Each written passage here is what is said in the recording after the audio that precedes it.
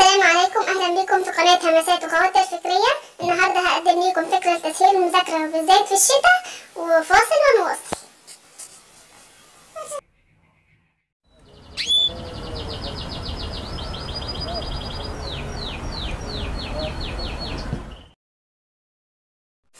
طبعا أنا جيت أقعد على المكتب وأنا بذاكر. حسيت إن الدنيا برد ولازم بطانية كده. وفي نفس الوقت قعدة الكرسي مش مريحة.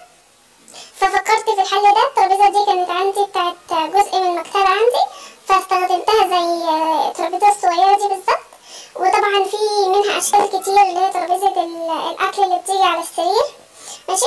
استخدمتها كده بالظبط مرة قعدت كده على على الكنبة بتاعت الأنتريه ومرة كان على السرير. يعني إيه, إيه بتعرفي تسندي ظهرك وانت قاعدة ما يوجعلكيش ظهرك ما ما تتنيش ورقبتك توجعك. فبصراحه مريحة جدا عن المكتب وعن القعدة العادية من غير مكتب ولا ترابيزة فهي دي مريحة جدا جدا. أتمنى تكون الفكرة عجبتكم. ما تنسوش ال like وال share وال subscribe.